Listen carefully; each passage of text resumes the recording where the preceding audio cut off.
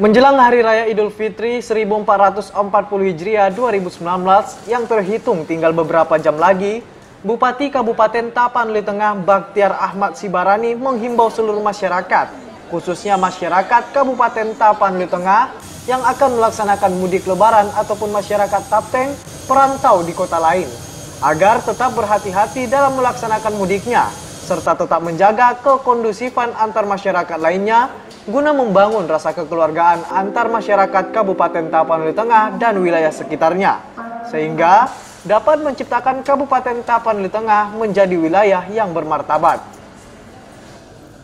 Eh, kepada saudara-saudara saya yang mudik baik yang dari Tapanuli Tengah untuk berangkat ke daerah lain maupun putra daerah Tapanuli Tengah yang merantau yang akan pulang di Hari Raya Idul Fitri ini, mari uh, kita jaga iklim kondusif di Tapanuli Tengah dan wilayah sekitarnya. Tetap uh, kita jaga diri, titip salam sama keluarga. Mari sama-sama kita membangun Tapanuli Tengah lebih baik ke depan. Selain itu, masyarakat juga dihimbau agar tetap memperhatikan keadaan sekitar sebelum melaksanakan mudik, seperti keadaan rumah ataupun keadaan daerah yang ditempatinya, demi menjaga keamanan dan kelancaran pelaksanaan Hari Raya Idul Fitri nantinya. Rizky Ramadan, N2S TV, memberitakan.